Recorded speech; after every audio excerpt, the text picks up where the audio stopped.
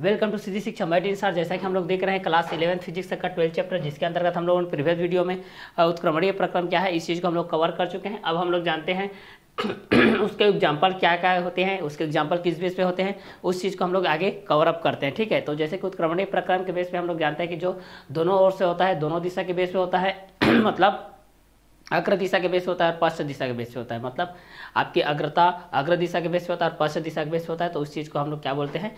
है? यहाँ की उत्क्रमणीय प्रक्रम बोलते हैं। तो इसी के बेस पे हम लोग यहाँ पर देख रहे हैं कि जब बर्फ़ को निश्चित मात्रा में, जब बर्फ़ को निश्चित मात्रा में, देखिए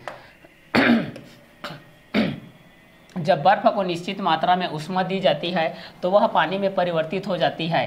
तथा यदि उसी पानी से, तथा यदि उसी पानी से उतनी उष्मा निकाल ली जाए तो वह पुनः बर्फ़ में परिवर्तित हो जाता है। अतः यह उत्क्रमणीय प्रक्रम होता है। विद्युत अपघटन उत्क्रमणीय प्रक्रम की प्रतिक्रिया होती है यदि कापर सल्फेट का विद्युत अपघटन विद्युत अपघटन किया जाता है तो कापर आयन में तो कापर आयन में कैथोड की ओर तथा सल्फेट आयन में एनोड की ओर क्या करते हैं? गति करते हैं। अब यदि विद्युत धारा की दिशा बदल दी जाए तो इलेक्ट्रोड अपनी मूल अवस्था में आ जाती है। इलेक्ट्रॉन अपनी किसमें आ जाती है?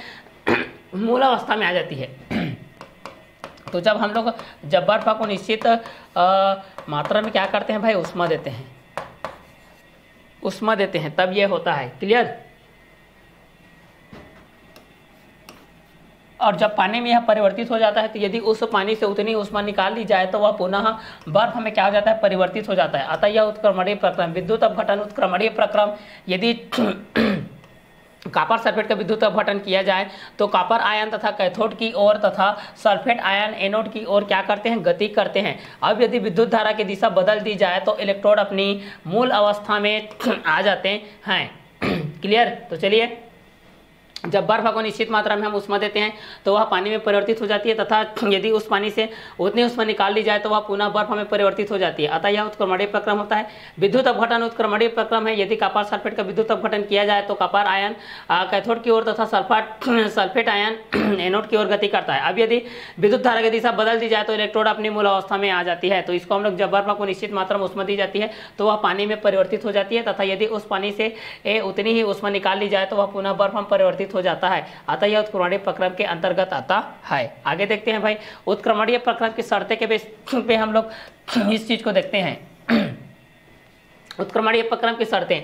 उत्क्रमणीय प्रक्रम का प्रचालन, उत्क्रमणीय प्रक्रम का प्रचालन बहुत धीरे धीरे होना चाहिए, बहुत धीरे धीरे होना चाहिए, ठीक है? तो उत्क्रमणीय प्रक्रम का प्रचालन बहुत धीरे धीरे होना चाहिए जिससे कि निम्न शर्तों का परिपालन हो सके, जिससे कि निम्न शर्तों का क्या हो सके? परिपालन हो सकते यदि निकाय सदैव यांत्रिक साम्यावस्था में होता है, यदि निकाय सदैव यांत्रिक साम्यावस्था में होता है साम्यावस्था में होता है, अर्थात इसमें निकाय और उसके चारों ओर के वातावरण में। इसके निकाय और उसके चारों ओर के वातावरण के मध्य कोई भी असंतुलित बल कार्य नहीं करता है, तब यह उत्क्रमणीय प्रक्रम के शर्त के बेस के अंतर्गत आता है। यदि सेकेंड चीज़ में हम लोग बी के रूप में देखते हैं इस चीज़ को बी के रूप में देखते हैं तो क्या होता है भाई कि निकाय की उसमें संतुलन में निकाय के उष्मीय संतुलन में, अर्थात निकाय और उसके चारों ओर के वातावरण में कोई तापांतर ना रहे। उसके चारों ओर के वातावरण में कोई तापांतर ना रहे। और सी नंबर के बेस हम लोग ये चीज़ देखते हैं कि निकाय के रासायनिक साम्यावस्था में होती है। क्या होती है? निकाय के रासायनिक साम्यावस्था में होती है। अर्थात इस चीज़ को हम लोग प्रक्रम में कोई नया उत्पाद नहीं बनाने देते हैं। प्रक्रम में कोई नया उत्पाद नहीं बना देते, जिससे कि उत्क्रमणीय प्रक्रम की शर्तें का परिपूर्णता पूर्वक पालन होता है। इस क्रिया में अगर हम किसी की प्रकार की ऊर्जा हानि ना हो। अगर इस क्रिया में किसी भी प्रकार की ऊर्जा हानि ना हो, जैसे कि घर्षण, प्रतिरोध श्यांता आदि के कारण होने वाले ऊर्जा हानियों से क्या होती है? प्रक्रम मुक्त होती है। तो इस चीज़ को हम लोग उत्क्रमणीय प्रक्रम की शर्तें के अंतर्गत रखते हैं। जब उत्क्रमणीय प्रक्रम का प्रचालन बहुत धीरे धीरे होना चाहिए, जिससे कि निम्न शर्तों का परिपालन हो सके। निकाय सदैव यांत्रिक साम्यावस्था में होती है, अर्थात निकाय और उसके चारों ओर के वातावरण के मध्य कोई संतुलित बल कार्य ना करे, ठीक है? तो उत्क्रमणीय प्रक्रम का जो प्रचालन होता है भाई, वह बहुत धीरे धीरे होना चाहिए। उसका जो प्रचालन होना चाहिए, उसको क्या होना चाहिए? बहुत धीरे धीरे मात्रा में होनी चाहिए। जितना उसका प्रक्रम का जो प्रचालन होगा, जितना धीरे होगा, उतना ही उसके लिए बेनिफिट होगा। धीरे होना चाहिए जिससे कि निम्न शर्तों का परिपालन हो सके, जिससे कि दिए गए शर्तों का परिपालन हो सके। पहला निकाय सदैव यांत्रिक साम्यावस्था में हो, अर्थात इसमें निकाय और उसके चारों ओर के वातावरण के मध्य कोई असंतुलित बल कार्य न करे। क्लियर तो पहला यहाँ पर दिया गया है कि निकाय सदैव यांत्रिक साम्यावस्था होनी चाहिए। यांत्रिक किसमें होनी चाहिए? साम्यावस्था में होनी चाहिए। अर्थात इसके निकाय और उसके चारों ओर के वातावरण के मध्य कोई असंतुलित बल कार्य ना करे। उस संतुलित के बल पर कोई कार्य ना करे। ये संतुलित बल के माध्यम पर कोई कार्य ना करे। और दूसरा में हम लोग ये देखते हैं कि निकाय उष्मीय संतुलन में हो। निकाय उष्मीय संतुलन में हो अर्थात निकाय और उसके चारों ओर के वातावरण में कोई तापांतर ना हो। यहाँ पर बोला जा रहा है कि निकाय उष्मीय संतुलन में हो, अर्थात निकाय और उसके चारों ओर के वातावरण में कोई तापांतर ना हो। उसके अंतर में क्या हो, कोई भी तापांतर ना हो। तो निकाय उष्मीय संतुलन में हो, अर्थात निकाय और उसके चारों ओर के वातावरण में कोई तापांतर ना हो, कोई तापांतर ना हो। ठीक है तो यहाँ से हम लोग फ़र्स्ट कंटेंट के बेस पे ये चीज़ देखें कि निकाय सदैव यांत्रिक साम्यावस्था में होती है, अर्थात इसमें निकाय और उसके चारों ओर के वातावरण के मध्य कोई असंतुलित बल कार्य ना करता हो। दूसरा, निकाय उष्मीय संतुलन में हो, अर्थात निकाय और उसके चारों ओर के वातावरण में कोई तापांतर ना हो। क्लियर तो निकाय सदैव यांत्रिक साम्यावस्था में होती है और इसके निकाय और उसके चारों ओर के वातावरण के मध्य कोई असंतुलित बल कार्य ना करे। और दूसरा, निकाय उष्मीय संतुलन में हो, अर्थात निकाय और उसके चारों के वातावरण में कोई तापांतर ना हो। तब तीसरा कंटेंट के बेस पे हम लोग ये चीज़ को देखते हैं कि यह निकाय। यह निकाय रासायनिक साम्यावस्था में, यह निकाय रासायनिक साम्यावस्था में होती है। यह निकाय रासायनिक साम्यावस्था में होती है। अर्थात प्रक्रम में कोई नया उत्पाद नहीं बनता है। अर्थात प्रक्रम में कोई नया उत्पाद क्या होता है? नहीं बनता है। ठीक है तो उत्क्रमणीय प्रक्रम की शर्तें के अंतर्गत में हम लोग ये चीज़ को देखते हैं कि उत्क्रमणीय प्रक्रम का प्रचालन बहुत धीरे धीरे होता है। बहुत स्लोली स्लोली होता है। बहुत धीरे धीरे तरीके से होता है। क्योंकि जिससे कि इनमें सतह परिपालन हो सके, उत्क्रमणीय प्रक्रम का प्रचालन जो होना चाहिए, उसको क्या होना चाहिए? बहुत धीरे धीरे होना चाहिए। क्योंकि जितना धीरे धीरे हो जाएगा, उसी के बेस में हम इस निम्न शर्तों का पालन कर सकते हैं। क्लियर तो पहला, निकाय सदैव यांत्रिक साम्यावस्था में हो और इसमें निकाय उसके चारों ओर के वातावरण के मध्य कोई असंतुलित बल कार्य न करे। दूसरा क्या बोल रहा है कि निकाय उसमें संतुलन में हो तथा निकाय और उसके चारों ओर के वातावरण में कोई भी तापांतर ना हो। उनके बीच में कोई भी तापों के बीच में कोई अंतर नहीं होना चाहिए। तीसरा नंबर में ये बोल रहा है कि निकाय रासायनिक साम्यावस्था में हो, अर्थात प्रक्रम में कोई नया उत्पाद ना बने। और इसके अंतर्गत जो चौथा है, इस क्रिया में किसी प्रकार की ऊर्जा हानि ना हो, जैसे कि घर्षण होता है, प्रतिरोध होता है श्यांता होता है, आदि के कारण होने वाली ऊर्जा हानियों से प्रक्रम क्या होता है? मुक्त हो। इससे प्रक्रम क्या हो? मुक्त हो। जो आपका उत्क्रमणीय प्रक्रम इससे क्या होनी चाहिए? मुक्त होनी चाहिए। तो ये आपका जो उत्क्रमणीय प्रक्रम के बेस पे हम लोग यहाँ पर इसकी जो शर्तों के बारे में जान रहे थे कि वास्तव में उत्क्रमणीय प्रक्रम की जो शर्त किस किस बेस पे होता है कि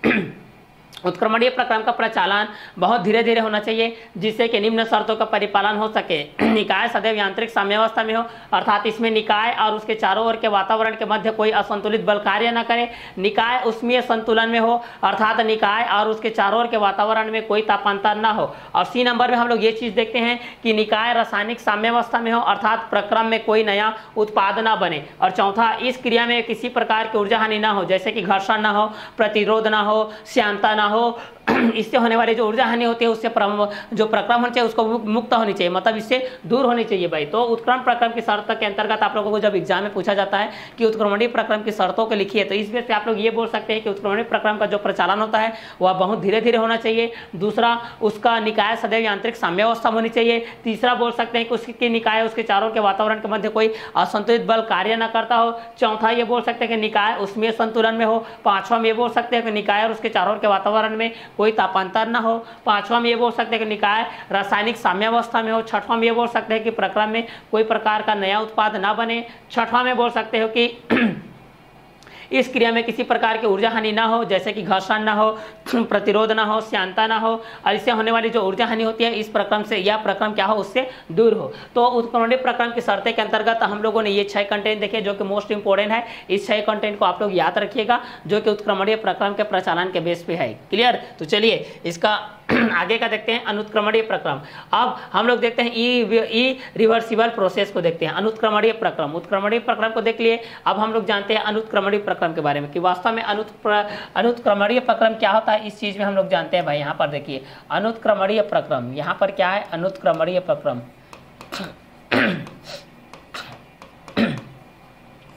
अनुत्क्रमणीय प्रक्रम, वास्तव में क्या होता है भाई, इस चीज़ को देखते हैं, चलिए। अनुत्क्रमणीय प्रक्रम के बेस पे देखते हैं। वे प्रक्रम जिनका प्रचालन वे प्रक्रम जिनका प्रचालन, यहाँ से देखिए वे प्रक्रम वे प्रक्रम जिनका परिचालन वे प्रक्रम जिनका परिचालन वे प्रक्रम जिनका प्रचालन केवल प्रचालन केवल वे प्रक्रम जिनका प्रचालन केवल प्रचालन केवल एक ही दिशा में हो। प्रचालन केवल एक ही दिशा में, एक ही दिशा में संभव होता है। एक दिशा में संभव होता है। अनुत्क्रमणीय प्रक्रम कहलाती है। अनुत्क्रमणीय प्रक्रम कहलाती है। अनुत्क्रमणीय प्रक्रम। अनुत्क्रमणीय प्रक्रम कहलाती है। अनुत्क्रमणीय प्रक्रम कहलाती है। तो यहाँ पर इसी चीज़ को बोला जा रहा है कि वे प्रक्रम, जिनका प्रचालन केवल एक ही दिशा में संभव होता है, अनुत्क्रमणीय प्रक्रम कहलाते हैं। अर्थात अनुत्क्रमणीय प्रक्रम को, अनुत्क्रमणीय प्रक्रम को, अनुत्क्रमणीय अनुत्क्रमणीय प्रक्रम को, अनुत्क्रमणीय प्रक्रम को, विपरीत क्रम को, विपरीत क्रम को, विपरीत क्रम को, विपरीत क्रम को, ठीक ठीक उन्हीं अवस्थाओं में, ठीक उन्हीं अवस्थाओं में, ठीक उन्हीं अवस्थाओं में संपन्न नहीं किया जा सकता। ठीक उन्हीं अवस्थाओं में संपन्न संपन्न नहीं किया जा सकता। संपन्न नहीं किया जा सकता। संपन्न नहीं किया जा सकता। जिन अवस्थाओं में प्रक्रम, जिन अवस्थाओं में प्रक्रम, जिन अवस्थाओं में प्रक्रम, जिन अवस्थाओं में प्रक्रम जिन अवस्थाओं में प्रक्रम प्रक्रम सीधे क्रम में संपन्न होते हैं, सीधे क्रम में, सीधे क्रम में, सीधे क्रम में संपन्न संपन्न होते हैं। तो अनुत्क्रमणीय प्रक्रम के बेस से हम लोग ये चीज़ को देखते हैं कि वे प्रक्रम जिनके प्रचालन में केवल एक ही दिशा में संभव होता है। अनुत्क्रमणीय प्रक्रम कहलाती है। अनुत्क्रमणीय प्रक्रम को विपरीत दिशा, विपरीत क्रम में ठीक उन्हीं अवस्था में संपन्न नहीं किया जा सकता, जिन अवस्था में प्रक्रम सीधे क्रम में संपन्न होते हैं। तो इस चीज़ को हम लोग अनुत्क्रमणीय प्रक्रम के बेस पर ये चीज़ को देख रहे हैं कि वे प्रक्रम जिनका प्रचालन वे प्रक्रम जिनका प्रचालन, वे प्रक्रम जिनका प्रचालन केवल एक ही दिशा में हो, केवल एक ही दिशा में देखिए, वे प्रक्रम जिनका प्रचालन केवल एक ही दिशा में संभव होता है, केवल एक ही दिशा में संभव होता है भाई। या तो अग्र दिशा में होता है, या फिर क्या होता है आप लोगों की पश्चिम दिशा में होता है भाई। तो वे प्रक्रम जिनका प्रचालन केवल एक ही दिशा में संभव होता है, अनुत्क्रमणीय अनुत्क्रमणीय प्रक्रम कहलाते हैं, अनुत्क्रमणीय प्रक्रम कहलाते हैं, या आप लोगों के अनुत्क्रमणीय प्रक्रम कहलाते हैं। तो वे प्रक्रम जिनका प्रचालन केवल एक ही दिशा में संभव होता है, अनुत्क्रमणीय प्रक्रम कहलाते हैं। अर्थात अनुत्क्रमणीय प्रक्रम के अंतर्गत, अर्थात अनुत्क्रमणीय प्रक्रम को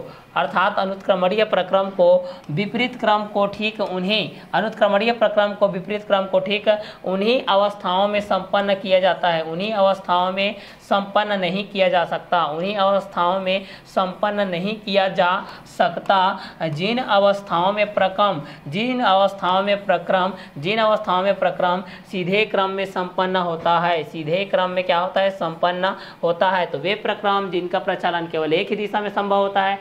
अनुत्क्रमणीय प्रक्रम कहलाते हैं, अर्थात अनुत्क्रमणीय प्रक्रम को, विपरीत क्रम को ठीक उन्हीं अवस्थाओं में संपन्न नहीं किया जा सकता। जिन अवस्थाओं में प्रक्रम सीधे क्रम में संपन्न होता है तो वे प्रक्रम जिनका प्रचालन केवल एक ही दिशा में संभव होता है, अनुत्क्रमणीय प्रक्रम कहलाते हैं, अर्थात अनुत्क्रमणीय प्रक्रम को, विपरीत क्रम को ठीक नहीं किया जा सकता, जिसके अवस्था में परिवर्तन नहीं किया जा सकता, उनके अवस्था में संपन्न नहीं किया जा सकता, जिन अवस्था में प्रक्रम सीधे क्रम में संपन्न होता है। तो आप लोगों को पूछा जाता है कि अनुत्क्रमणीय प्रक्रम क्या है तो यहाँ पर आप लोग बोल सकते हैं कि वे प्रक्रम जिनका प्रचालन केवल एक ही दिशा में संभव होता है, अनुत्क्रमणीय प्रक्रम कहलाते हैं, अर्थात अनुत्क्रमणीय प्रक्रम को, विपरीत क्रम को ठीक उन्हीं अवस्था में संपन्न नहीं किया जा सकता, जिन अवस्था में प्रक्रम सीधे क्रम में क्या होते हैं? संपन्न होते हैं। तो यहाँ से आप लोग अनुत्क्रमणीय प्रक्रम, उत्क्रमणीय, प्रक्रम, दोनों के बीच पे आप लोग इस चीज़ को बता सकते हैं कि वे प्रक्रम, जिनका प्रचालन केवल एक ही दिशा में संपन्न होता है। अनुत्क्रमणीय प्रक्रम कहलाता है, अर्थात अनुत्क्रमणीय प्रक्रम को, विपरीत क्रम को ठीक है, उन्हीं अवस्थाओं में संपन्न नहीं किया जा सकता, जिन अवस्थाओं में प्रक्रम सीधे क्रम में संपन्न होता है। क्लियर आगे का कंटेंट को देखते हैं। इसका एग्ज़ाम्पल के बेस पे हम लोग इस चीज़ को देखते हैं कि एग्ज़ाम्पल फ़र्स्ट लोहे में जंग लगना अनुत्क्रमणीय प्रक्रम है। जो लोहे में जंग लगता है भाई। एक ही दिशा में लगता है। जो लोहे में जंग लगता है, वो क्या है? अनुत्क्रमणीय प्रक्रम का एग्ज़ाम्पल है। आप लोगों के जो लोहे में जंग लगता है, लोहे में क्या लगता है? जंग। लोहे में जंग लगना। लोहे में जंग लगना क्या है आप लोगों के? अनुत्क्रमणीय प्रक्रम है। अनुत्क्रमणीय प्रक्रम है। दूसरा, पहला क्या है? लोहे में जंग लगना अनुत्क्रमणीय प्रक्रम का एग्ज़ाम्पल आ गया। दूसरा, हम लोग इस चीज़ को देखते हैं। दूसरा, किसके अंतर्गत आता है? किसी झरने में पानी का गिरना अनुत्क्रमणीय प्रक्रम है। केवल एक ही दिशा में देखिए। झरने से पानी इस तरीके से गिर रहा है भाई। ठीक है तो दूसरा में किसी झरने से, किसी झरने से, किसी झरने से पानी का गिरना, पानी का गिरना, पानी का गिरना, पानी का गिरना अनुत्क्रमणीय प्रक्रम है। ठीक है? तो पहला, लोहे में जंग लगना, अनुत्क्रमणीय प्रक्रम है। दूसरा, किसी झरने में पानी का गिरना, अनुत्क्रमणीय प्रक्रम है। किसी झरने में पानी का गिरना, अनुत्क्रमणीय प्रक्रम है। और क्योंकि जब पानी ज़मीन से टकराता है, क्योंकि जब पानी ज़मीन से टकराता है, किसी झरने में पानी का गिरना किसी झरने में पानी का गिरना अनुत्क्रमणीय प्रक्रम है, पानी का गिरना अनुत्क्रमणीय प्रक्रम है। किसी झरने में पानी का गिरना अनुत्क्रमणीय प्रक्रम है, क्योंकि जब पानी ज़मीन से टकराता है, क्योंकि जब पानी ज़मीन से टकराता है, क्योंकि पानी जब ज़मीन से टकराता है तो उसकी गतिज ऊर्जा उष्मा और ध्वनि में तो उसकी गतिज ऊर्जा उष्मा और ध्वनि में परिवर्तित हो जाती है, परिवर्तित हो जाती है। इसके विपरीत क्रिया नहीं होती है, इसके विपरीत क्रिया नहीं हो सकती है या इसके विपरीत क्रिया नहीं होती है। तो किसी झरने में पानी का गिरना अनुत्क्रमणीय प्रक्रम होता है, क्योंकि जब पानी से, पानी ज़मीन से टकराता है तो उसकी गतिज ऊर्जा उष्मा और ध्वनि के रूप में क्या हो जाती है?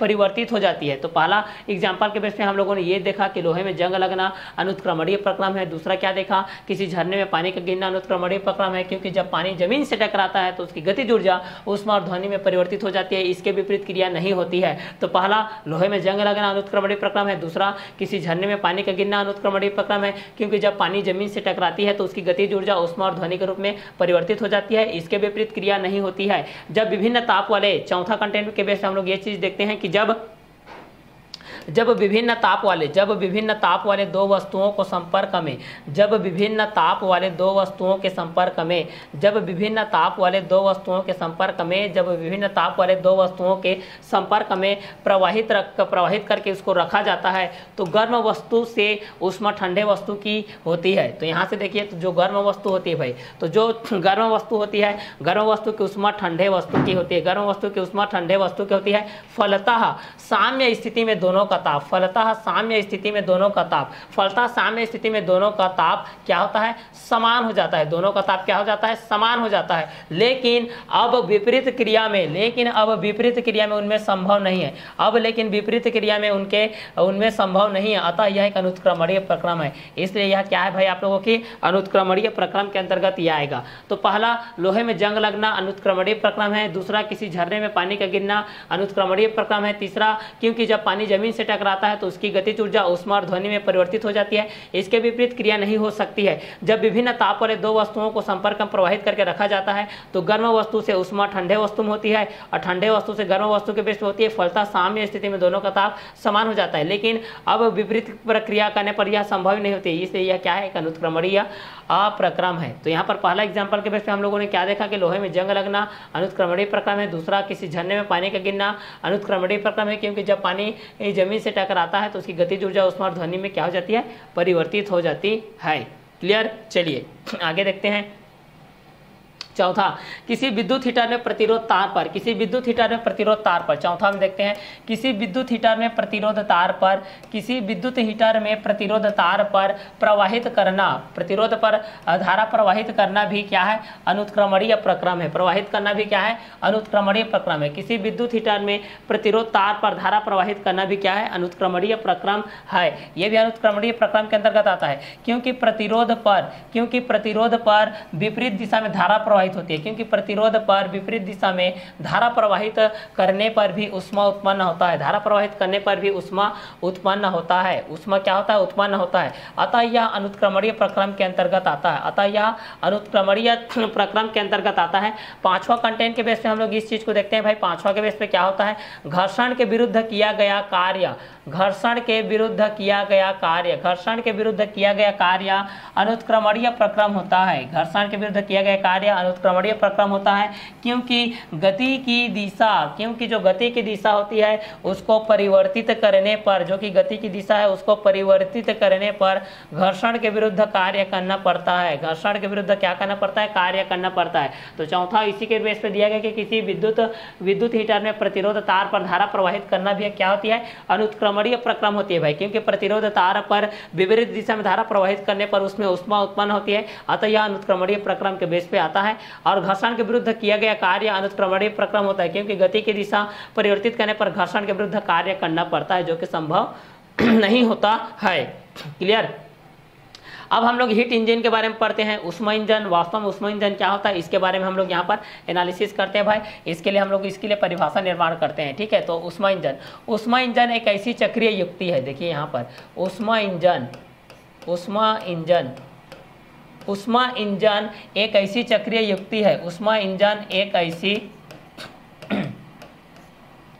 एक ऐसी चक्रीय युक्ति है। उष्मा इंजन एक ऐसी चक्रीय चक्रीय युक्ति है। चक्रीय युक्ति है जो उष्मा को जो उष्मा को जो उष्मा को अविरत रूप से जो उष्मा को अविरत रूप से जो उष्मा को अविरत रूप से अविरत रूप से यांत्रिक कार्य में, यांत्रिक यांत्रिक कार्य में, यांत्रिक कार्य में, यांत्रिक कार्य में परिवर्तित करती है। यांत्रिक कार्य में परिवर्तित करती है। सैद्धांतिक से उष्मा इंजन के सैद्धांतिक रूप से, यहाँ पर हम लोग ये बोल सकते हैं कि सैद्धांतिक रूप से, सैद्धांतिक रूप से सैद्धांतिक रूप से जो उष्मा इंजन होती है भाई, सैद्धांतिक रूप से जो उष्मा इंजन होती है, इस चीज़ को देखते हैं सैद्धांतिक रूप से उष्मा इंजन के उष्मा इंजन के, उष्मा उष्मा इंजन के मुख्य तीन भाग होते हैं। मुख्य तीन भाग होते हैं। मुख्य तीन भाग तीन भाग होते हैं। ठीक है? तो उष्मा इंजन एक ऐसी चक्रीय युक्ति है। ठीक है, यहाँ से देखते हैं। उष्मा इंजन एक ऐसी चक्रीय युक्ति है। एक ऐसी चक्रीय युक्ति है, इस तरीके से आप लोगों की चक्र के बाद एक चक्रीय, इस तरीके से युक्ति है, जो उष्मा को अविरत रूप से ना बिना थके, अविरत रूप से। लगातार अविरत रूप से यांत्रिक कार्य में परिवर्तित करते रहती है। यांत्रिक कार्य में क्या करते रहती है? परिवर्तित करती रहती है। सैद्धांतिक से उष्मा, सैद्धांतिक रूप से उष्मा इंजन के तीन मुख्य भाग होते हैं। तीन क्या होते हैं? मुख्य भाग होते हैं, जो कि हम लोग इस प्रकार से देखते हैं कि उष्मा इंजन एक ऐसी चक्रीय युक्ति होती है, जो उष्मा को अविरत रूप से यांत्रिक कार्य में परिवर्तित करती है। सैद्धांतिक रूप से उष्मा इंजन के तीन मुख्य भाग होते हैं, ठीक है? तो पहला उष्मा इंजन के बेस हम इस चीज़ को देखते हैं। चलिए तो पहला है उष्मा स्त्रोत दूसरा है उष्मा सिक तो पहला उष्मा स्त्रोत को देख लेते हैं भाई। उष्मा स्त्रोत क्या होते हैं? हीट सोर्स क्या होती है? इस चीज़ को देख लेते हैं। तो पहला उष्मा स्त्रोत के बेस पे हम लोग इस चीज़ को देखते हैं। देखिए तो पहला उष्मा स्त्रोत के बेस पे हम लोग इस चीज़ को देखते हैं। उष्मा स्त्रोत के बेस पे यह एक ऐसा निकाय है। यह एक ऐसा निकाय है। उष्मा स्रोत देखिए, यह एक ऐसा निकाय है जो कि उच्च नियत ताप पर, जो कि उच्च नियत ताप पर, जो कि उच्च नियत ताप पर, जो कि उच्च नियत ताप टी पर टी पर होता है। टी पर होता है। तथा इससे तथा इससे सतत उष्मा लेने पर, तथा इससे सतत उष्मा लेने पर भी, उष्मा लेने पर भी इसके ताप में, इसके ताप में परिवर्तन नहीं होता है। इसके ताप में भी परिवर्तन नहीं होता है। तो उष्मा स्त्रोत के बारे में हम लोग ये जानते हैं कि यह एक ऐसा निकाय है भाई, जो कि उष्मा उच्च नियत ताप टी पर होता है, जो कि उच्च नियत ताप टी पर होता है।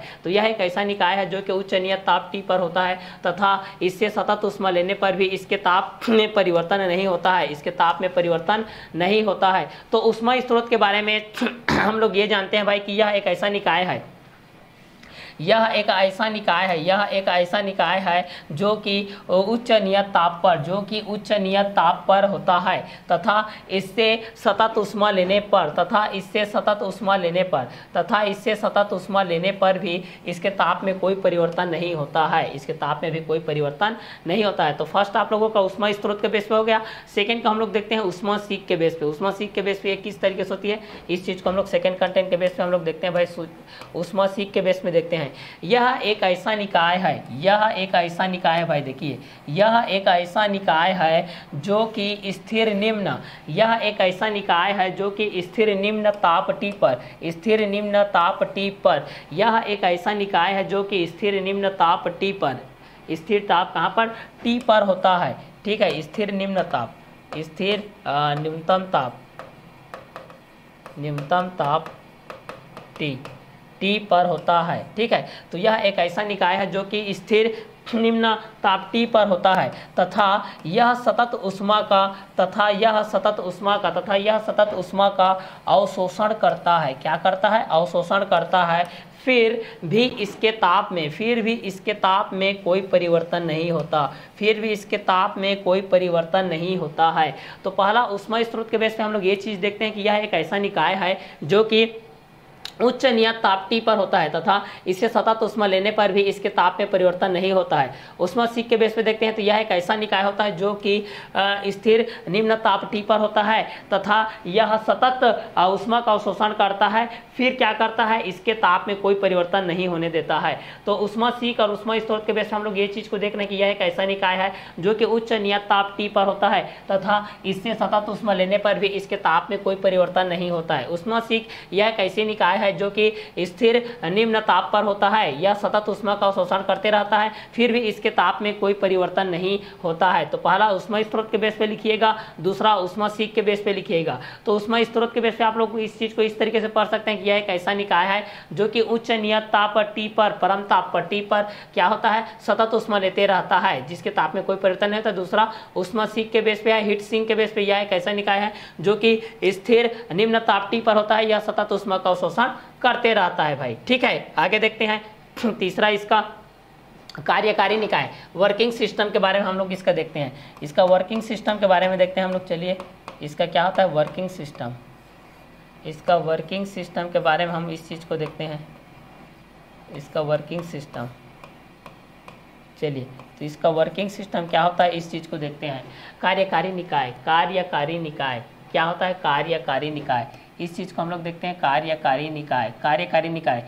यह एक ऐसा निकाय है, यह एक ऐसा निकाय है, देखिए, यह एक ऐसा निकाय है जो उष्मा स्त्रोत से, जो उष्मा स्त्रोत से, यह एक ऐसा निकाय है जो उष्मा स्त्रोत से उष्मा अवशोषित करता है। उष्मा क्या करता है? अवशोषित करता है। यह एक ऐसा निकाय है, देखिए यहाँ से। यह एक ऐसा निकाय है जो उष्मा स्त्रोत से उष्मा अवशोषित करता है। ये आप लोगों का उष्मा अवशोषित करने का काम कर रहा है भाई, देखिए तो।